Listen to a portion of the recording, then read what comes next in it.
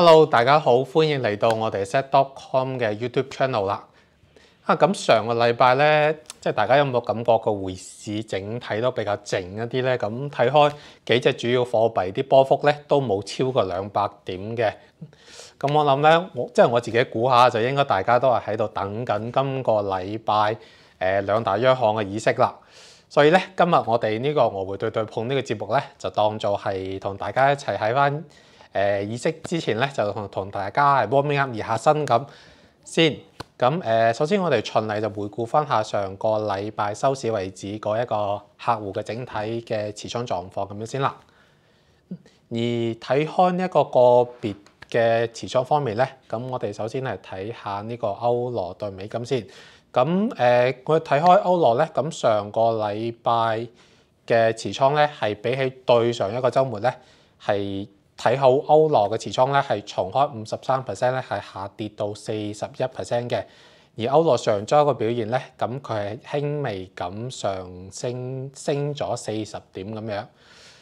而睇翻上個禮拜公佈嘅消息咧，就美國係公佈咗佢五月份嘅一個 ISM 嘅服務業嘅 PMI 嘅數據啦，咁呢個數據咧係差過預期嘅，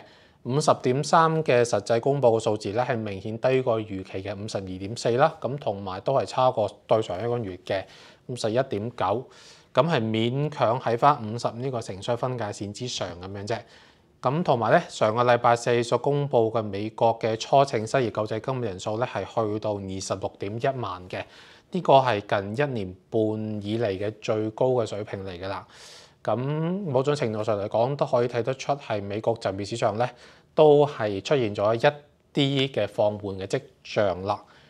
咁依家咧就喺翻誒聯儲議息之前嘅沉默期當中。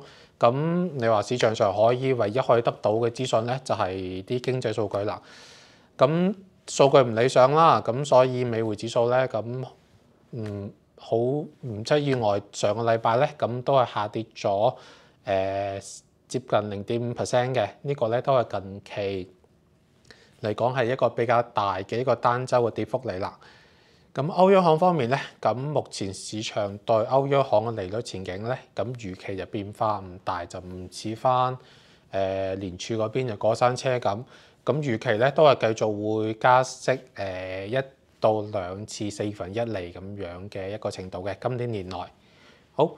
而去到 yen 方面啦，咁誒 yen 方面多啦 yen 比起再上一個週末咧，睇好美金嘅持倉咧係從三十六 percent 係增加到四十六 percent 去嘅，多咗十個 percent。就日一嚟講咧，咁佢上個禮拜我覺得最大嘅新聞咧就係日本嘅 GDP 啦。咁日本 Q 一嘅 GDP 咧係受到呢個佢企業增加支出同埋私人消費嘅推動咧，佢 Q 一嘅 GDP 咧按年係增長二點七個 percent 嘅，係遠遠高過一點九 percent 嘅預期。咁呢個咧，咁日本股市都有反應啦。咁日本佢嘅日經二二五咧，咁個指數咧係升近期咧係升近到三十年以嚟嘅新高嚟嘅。嗱，但係股市係強勁喎，但日 yen 咧咁就似乎就冇太明顯嘅反應出嚟。咁我諗咧呢個問題咧就主要就喺翻日本嘅央行行長直田咧，佢目前嘅口風咧就依然好緊，都依然係堅持認為咧就距離呢一個通脹去到持續實現百分之二呢個目標咧就仍然有一段距離。咁都依然係認為咧日本。依家嘅日本經濟咧係依然需要一個弱嘅日英嘅支持，咁所以咧就 BOJ 係會耐心咁繼續咁實行維持呢一個誒超寬鬆嘅貨幣政策嘅。咁所以咧今個禮拜日本央行咧係有議息，但係我諗應該都冇乜人會預期今次會議會有一啲重大嘅變化㗎啦。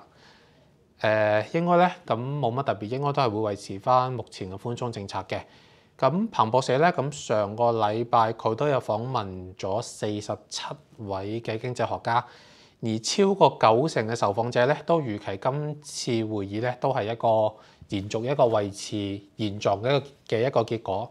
咁所以都好難怪目前日 yen 呢個匯價咧都好難有氣息咁。多啦 yen 嘅匯價係點樣波動咧？咁主要都係睇美金為主嘅。美日本央行咧，咁佢目前嘅估計咧就係二零二三呢個財年咧，咁佢全年嘅核心 CPI 咧係按年增長一點八 percent 咁樣。呢個數一點八 percent 咧，就同開目前市場普遍預期嘅二點五 percent 咧，係有一個明顯嘅分歧。而最近一個數字咧係四月份嘅核心 CPI 咧，咁佢其實已經去到四點一㗎啦，係呢個目標 CPI 嘅兩倍都有成嘅。咁如果係日本央行係有計劃去推出目前退出目前嘅呢一個超寬鬆嘅貨幣政策咧？咁我認為下一個值得留意嘅窗觀察嘅窗口咧，就係七月尾嘅議息會上面啦。咁就就睇翻下 BOJ 佢會唔會想上調翻佢全年嘅一個通脹預期。咁如果你堅仲係堅持認為係一點八嘅話咧，咁都仲係要等。咁如果係有翻誒、例如翻將呢個全年嘅預期咧上誒、向上調整到兩 percent 以上嘅話咧。咁我諗係呢個咧就係翻誒有機會係開啟呢一個貨幣政策正常化嘅一個誒、呃、預兆嚟嘅。咁但係喺呢個之前咧，咁我諗呢個日英嘅匯價咧，咁主要都係依然係由翻美元去主導開嘅。好，而上個禮拜睇完啦，咁今個禮拜咧就熱鬧多，比上個禮拜咧就熱鬧得多啦。首先咧係禮拜二美國會出五月份嘅 CPI 同核心 CPI 數據啦，禮拜三咧就會有翻誒呢個 PPI 數據嘅。咁雖然咧誒呢個通脹數據離距離呢個六議息好已經好接近，我諗佢對翻六月份嘅意息咧就影響就唔大啦。但係咧對七月同埋七月往後個影響咧，咁我覺得都係依然值得大家去留意翻嘅。四月份咧，同 refresh 一下。四月份咧，咁美國嘅 CPI 咧係錄得四點九 percent 按年，核心 CPI 咧係五點五 percent 按年嘅。咁目前市場嘅預期咧就係 CPI 咧就會從四點九下降到四點一，而核心 CPI 咧就會從上個月嘅五點五下降到五點二。咁相對地咧，咁我哋會睇到誒 CPI 嘅下降速度咧係比呢個核心 CPI 要快嘅。好，而我哋睇翻下官方嘅一個數據睇下啦。根據克里夫蘭聯儲銀行佢自己嘅模型咧，咁佢嘅預測係五月份嘅 CPI 同核心 CPI 咧都係比較接近市場嘅預期嘅。而同埋咧，咁六月份嘅預測咧，咁想大家留意翻下。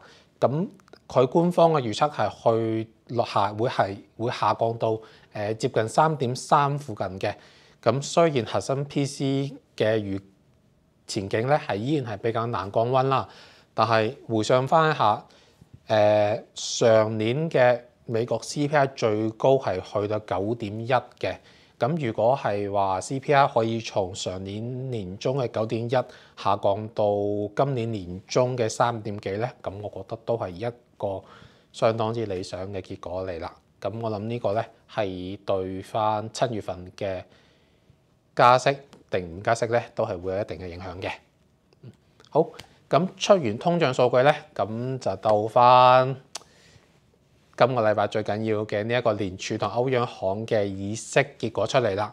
咁根據目前 Fed Watch 嘅數據顯示咧，咁今次應該係聯儲按兵不動嘅機會率咧，係接近四七十五 percent 嘅。係四分之三嘅機會率係按兵不動嘅，而七月份加息四分一厘嘅機會咧就去到接近七成。這個、呢個咧咁我諗應該都唔會有太大嘅變數啦，即係點都會加息一次嘅，即係照咁嘅情況睇。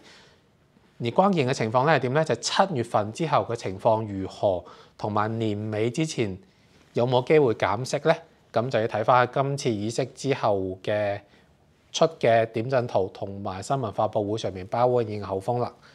而歐央行方面咧，咁我諗如無意外應該都係會加息四分一厘啦。今次咁個行長拉加德咧，咁上個禮拜咧都有表示過，目前佢認為就未有一個明確嘅證據可以顯示有通核心通脹已經見頂住。